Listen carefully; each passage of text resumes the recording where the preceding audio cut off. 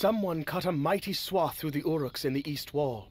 But was it enough to save our mutual friends from certain death?